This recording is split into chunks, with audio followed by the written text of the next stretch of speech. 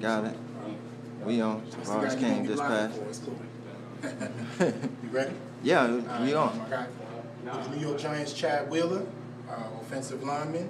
Just wanted to know, like, first and foremost, welcome to the New York Giants, and also, um, how's training camp going for you in uh, battles?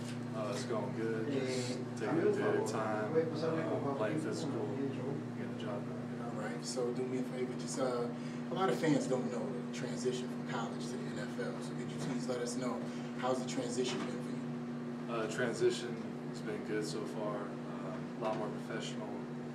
It's not like college anymore, but it's you bring your A game every play, and uh, yeah, just got to make that bread. So I know tonight, you know, you'll be de- definitely getting a lot of reps. So what you looking forward to? How's tonight's game, man? It's the first against the the Jets, man. Is a big thing for us New Yorkers. So how you feeling about the atmosphere and everything? I know I got to represent, so I know it's gonna be yeah, it's gonna be a great atmosphere, a lot of energy, a lot of fans, Yeah. and uh, yeah, can't wait to perform. What I'm gonna tell you is this though, because uh, this is your first time.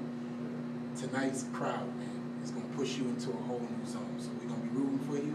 We're definitely looking forward to you making the 53. You're one of our favorites on the show. Thanks for your Absolutely. time, man.